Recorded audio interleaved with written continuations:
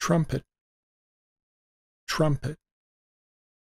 A trumpet is a musical instrument people play by blowing in the small end and pushing buttons in a certain way to make different notes.